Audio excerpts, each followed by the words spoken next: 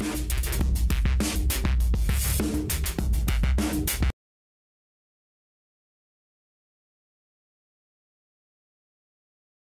guys, today uh, news has come that China has actually threatened uh, our country, saying India did not learn lessons from the historic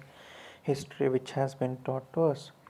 So in 1962 war, the war which India lost, the war in which India lost and nearly lost the uh, fight was actually shown in the Chinese daily saying that India is not learning from the different things which it has faced in the past because of China. So because of that, uh, what Arun Jaitley has responded that is that in not in not in it, India is not 1962.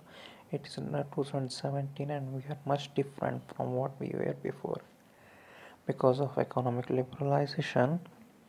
we have strongly developed our military strength as well as economically and this has made a very serious change this has been delivered to chinese government saying even bhutan government and chinese government have both